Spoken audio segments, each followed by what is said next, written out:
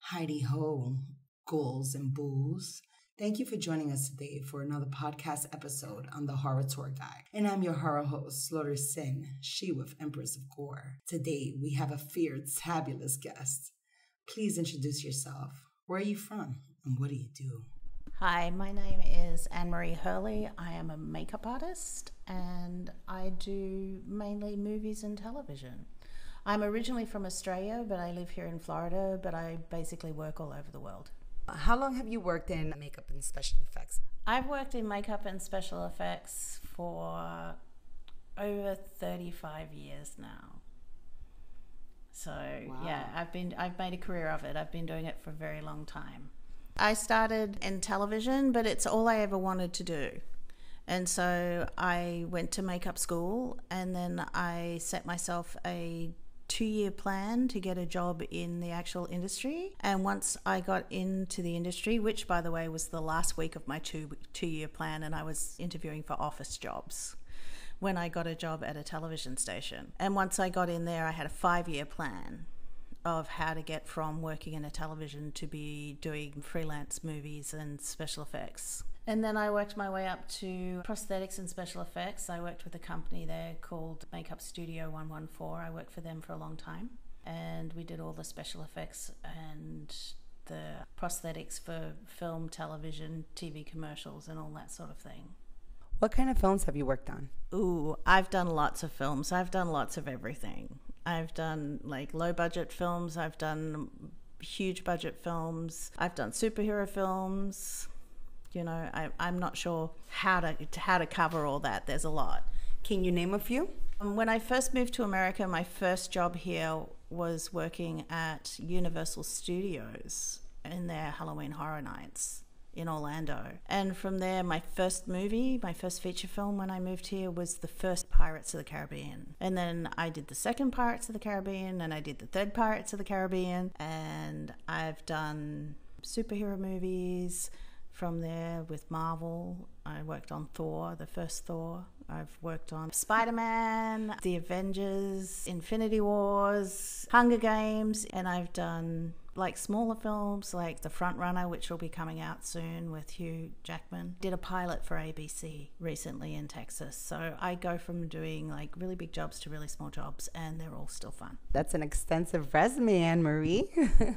Something to be proud of, of course. Uh, what about TV? Can you give us some insight on some of the television shows that you've worked on? I haven't done a lot of TV here since I've been here.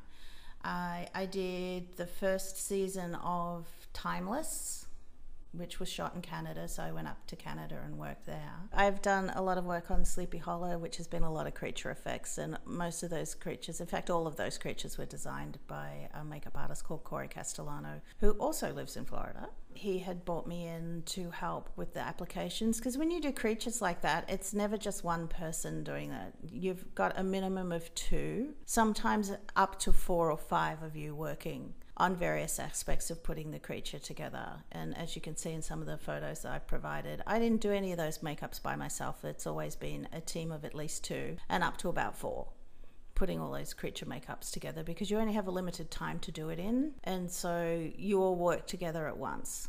And you absolutely have some wonderful work. How did you end up working for major commercial films?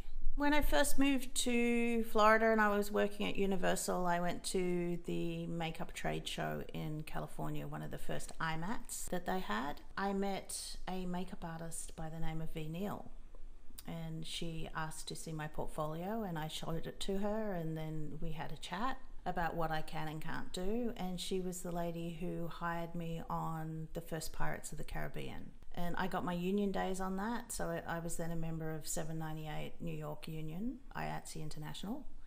And then on the third Pirates, I was brought in on a ventilating specialty because I hand tie facial hair. And I qualified to join 706, which is the California IATSE International. Nice. And so amazing speaking to a woman that participates in the horror aspect. We do appreciate your work and your contributions in our horror society. So, what's your specialty? You mentioned a little bit about the hair tying, but what else do you specialize in? What do you do? What do you love to do? Ventilating or the hair tying is my specialty. It's kind of a dying art. There's not that many people who do it. And styling it and cutting and styling facial hair and making it is kind of my specialty. Also, prosthetics, special effects, that sort of thing. Yeah. I kind of do a little bit of everything. I can do beauty as well. I get hired to do all of them, basically. And it's a nice change every now and again not to be doing dirt and sweat and running up a hill or, you know, walking through a desert or trekking through a jungle. Sometimes it's nice just to be in a trailer doing nice beauty makeup. What can you say was your most exciting gig, Maree? The first Pirates, I think, because we all knew we were working on something special but we had no idea how huge it was going to be, basically. And it was different makeup for different times and different climates, and we were using different products, and we were doing makeup in a different way that hadn't been done that way before by layering paint and things like that. So it was a big learning curve, and everybody basically had a really good time. We we're out on a, a pirate ship in the middle of the Caribbean. That sounds so excellent. Can you explain to us what was your most stressful job or your biggest conflict that you've ever had on set? It's not so much conflict, but the most difficult job I've worked on was the Lone Ranger. Basically, because we were out in the desert and it was locations and we moved a lot, there were budget restrictions, we weren't able to get enough help you need a certain amount of help to be able to do the big crowd scenes and all that sort of stuff. So you're constantly making compromises and things like that. And it was a difficult location. The other one I've done that was been extremely difficult was Fear the Walking Dead because we shot it in Mexico. And once again, it's budget restrictions, location restrictions, and not being able to get enough qualified help to be able to help you get it all together. It's a difficult job, and you're working like, you know, 15, 16 hours a day. So it's just, it's hard work. Can you explain to us a little bit about the difficulties as to working somewhere internationally, like having a gig that's international, and what kind of conflicts will arise?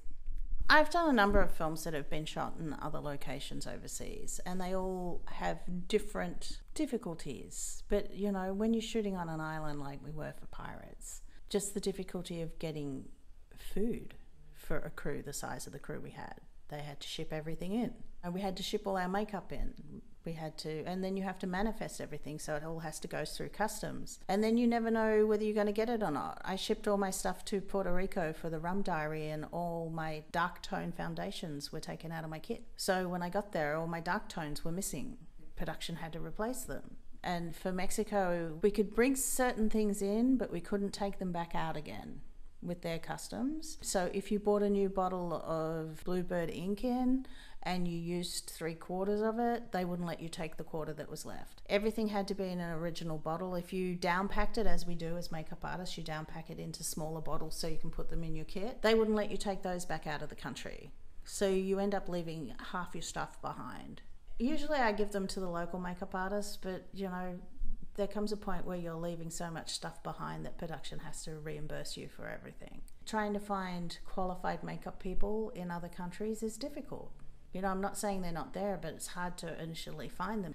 So it's quite complicated in actually working your way through all those people to finding people who actually have the skill level that you need to get a job done. Because you know what? Sweat and dirt are hard. People don't know how to do sweat and dirt and character makeup. They can do fine beauty makeup, but a lot of people can't do the character makeup. And so you have to bring people in, which of course costs production more money.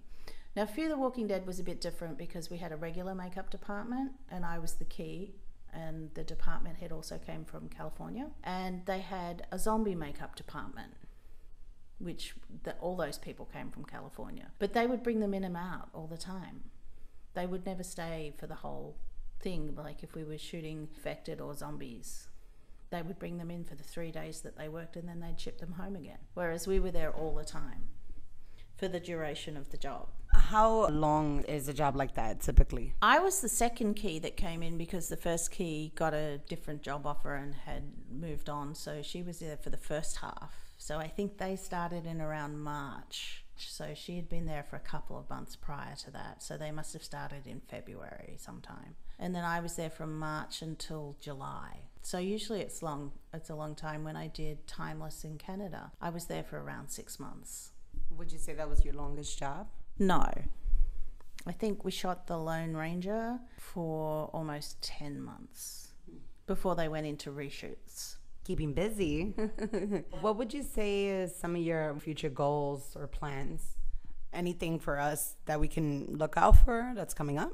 I have a couple of films that I completed some work on last year that are coming that are coming out. The Front Runner, which is a story about the Gary Hart story when he was the front runner to run for president and the scandal and all that sort of thing that happened and how that changed the way people reported it. Because before then, people didn't really go after the scandal of politicians. And Gary Hart was the person that basically came out and said, If you think I'm cheating on my wife, catch me. So they did and that was like how we ended up with tabloid reporting that we have now. So it was kind of a pivotal turning point in the 80s. So that's coming out soon.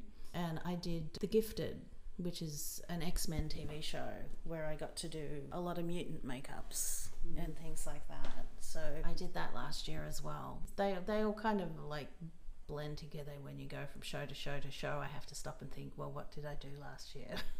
Do you have any future goals or plans, like anything that you're looking forward to working on, or is there anything that everything is really confidential until it it comes out? Mm-hmm. So you know, there's stuff that you may be working on, or there's stuff that's coming up that I can't really tell you about because I can't get into the meat of what it's about. I can't tell you about the makeups. I can't tell you about the story. I can't tell you about what happens because as a makeup artist, we all signed a confidentiality agreement. We can't talk about it until it comes out.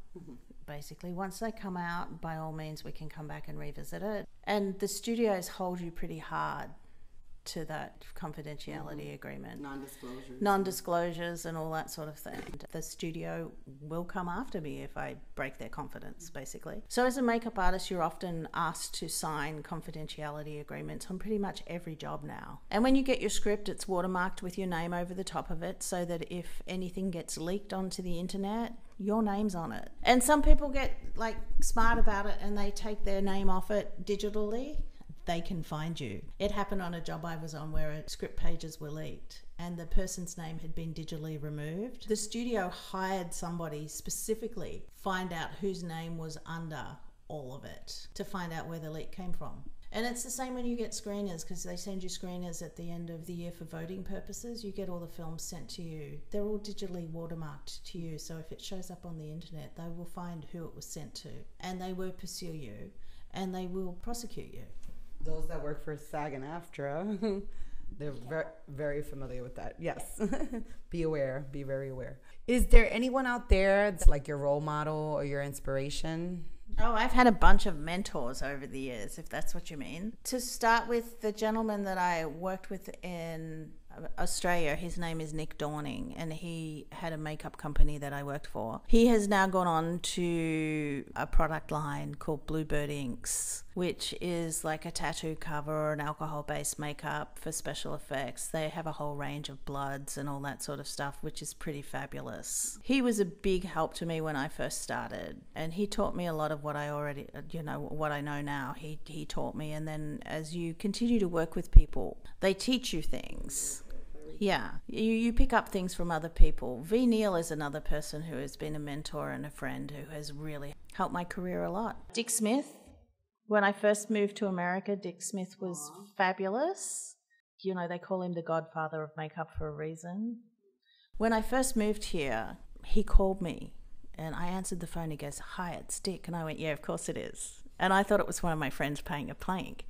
And I'm like, of course it is. What do you really want? And he's like, No, really, it's Dick Smith. And I'm like, Yeah, yeah, yeah. What do you want? And he goes, No, really, it's Dick. And I went, Oh my God, it really is you. and he was he was so kind and he was like yes i was just wondering how you were going. I know that you've moved here and that you don't have any family here and i was just checking up on you And we had a lovely chat for an hour or so about what I was doing and where I was going and how my job was and all that sort of stuff. And he was instrumental in me getting a job at Universal because he called the Universal makeup department and he said, There's this girl from Australia and she has quite a nice book and she's got some experience. I think you should interview her. So he got me the interview, but I got myself the job. And that's what he always said I got you the interview, but you got yourself the job. So you never know who's going to help you. And you should always be nice to everybody because you never know who can help you. And who, you don't walk into a room and go, I think that person can help me. Let, let me go and talk to them. Because it's the third person you've walked past to there and dismissed is who's the person who actually could give you the job. So you just never know. So I just try, you know, to genuinely, I'm genuinely nice to pretty much everybody I try to be. Well, Ann-Maree, that was a wonderful story with Dick Smith. I mean, I am a huge fan. I've always been. If there is someone out there that would like to do what you're doing, what advice would you give them? Go to makeup school. I'm a big believer in makeup school, and everybody goes, Well, I'm self taught. And I'm not taking it away from anybody who's been self taught. I think it's great. If you go to a makeup school, you learn the rules I mean, there are rules to make up, you know, about how you do things, and this is why we do it this way. And once you know the rules, you can break the rules and do your own thing, but there's a reason why, you know, we shade and we highlight and we do all that sort of thing to start with. And I think it just gives you a better, well rounded basis to start from. And then you can go off and do whatever you want. And don't be discouraged by people who tell you you can't do it. I'm a hick chick from the outback. I live in a tiny, small country town. And I used to tell people I was going to be a makeup artist, and they used to laugh at me. And, you know, even my career advisor at school told me I needed to adjust my goals to a less loftier height because I, you know, a t- teeny tiny country town is where I came from. But, you know, don't be discouraged by people who tell you you can't. You can and you will. Words of wisdom right there. What's your favorite horror film? I really love the Blair Witch Project, the, first one, the original, the found footage. I thought it was ahead of its time. It was scary. I really, really liked it. I thought it was clever and it was made on like a teeny tiny budget and they made millions of dollars. And then when they tried to recapture the magic in the second one when they had a bigger budget and all that sort of stuff it just didn't do as well. So that's probably one of my very favorites. If you had to pick a horror character of your choice like something that you love or identify with what would you be? That's a tough question because there's so many great horror characters I think one of the best, most well developed, well rounded horror characters is Freddy Krueger. There's been so many Freddy Krueger movies, and the first one is still, for me, the scariest. I really liked it, and I really liked his character, and I really liked the way that he developed, and I loved the makeup. I thought it was great. I think that's probably one of my favorites. And in your opinion, what's your definition of horror? That's a tough question because it can be anything. It can be anything from your slasher flick to your, you know, your blood and gore, your vampire movies. I think horror is a really big genre, but there's subcategories underneath that from you know it's it's hard to explain because it's all encompassing you know from your jason and your friday the 13th and all that sort of thing all the way to things like the blair witch project or you know the house of 13 ghosts and all that sort of thing. I think it's all encompassing if someone wanted to hire you or wants to find out more about you how could they find you? All my information is listed on mandy.com they can find me there. What a terrific interview with this tasty morsel. But now, sad to say, you have to go. I'm getting.